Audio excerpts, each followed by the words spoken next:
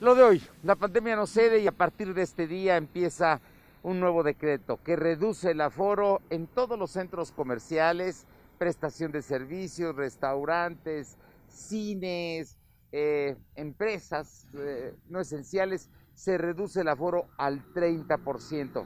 Estaba en el 50%, se reduce al 30%.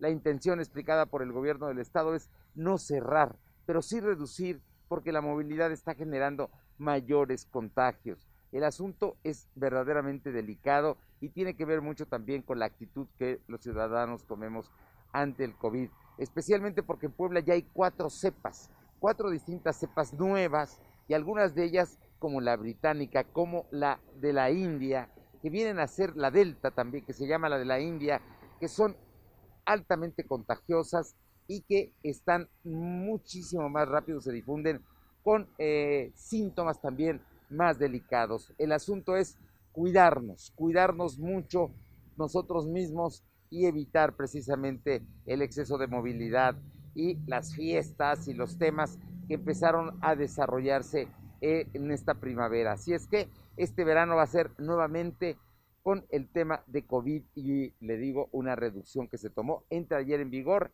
no hay ley seca, no tiene tampoco plazo fatal, no se sabe cuándo terminará y podría alargarse por lo menos dos o tres meses más. Así es que el tema de la pandemia es lo de hoy.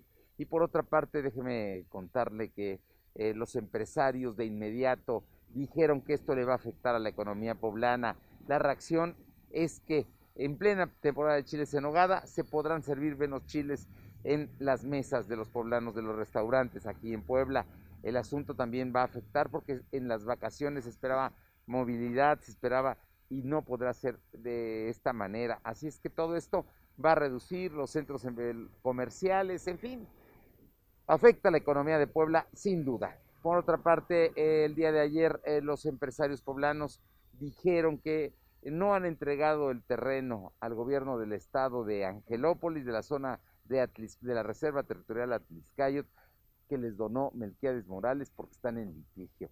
Pero que ellos quieren llegar a un mal arreglo y a no un buen pleito y quieren buscar, buscar al gobernador, insisten, y el gobernador ha dicho que no hay privilegios, que se va a aplicar la ley y punto. Esa es la posición ante este predio de que está precisamente en la Reserva Territorial Atliscayot y que después de mm, pues 17 años no se pudo construir la sede del Consejo Coordinador Empresarial le comento que en la Universidad de las Américas hay dos rectores. El litigio continúa, la vida universitaria debe seguir y ya empezaron a pagarle a un grupo de trabajadores sindicalizados. Hoy y mañana deberán estar con los docentes. La verdad es que tanto Luis Ernesto Derbez dice que sigue siendo el rector porque hay todo un proceso que no se ha terminado. Los Jenkins dicen lo mismo y por otra parte Armando Ríos Peter ya despacha como rector, ya está dando entrevistas y ya va en este sentido. Dice que ya se está manejando las cuentas de la institución, así es que además tuvo el reconocimiento ayer de la Secretaría de Educación Pública del Estado. Así es que Ríos Peter sigue siendo rector y dice el gobernador que él no está en medio del litigio, él simplemente fue designado por el nuevo patronato. Los que tienen el litigio son los patronos, precisamente con los patronos de la Jenkins.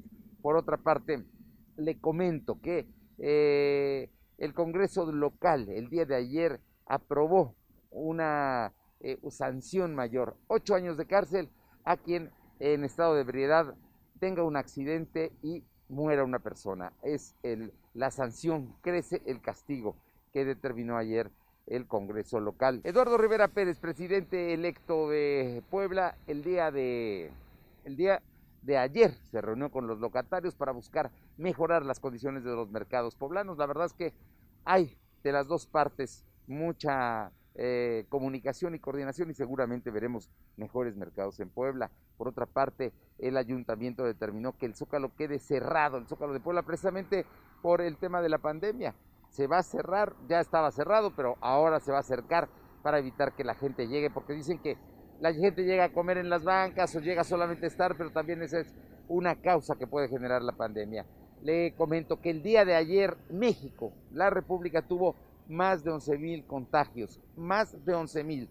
Es el número más alto que se tiene eh, desde la primavera pasada. Así es que el asunto va en serio. Y el día de hoy el presidente de la República, Andrés Manuel López Obrador, señaló que este año es importante para México porque celebran los 200 años de la Declaración de Independencia. Lo de hoy.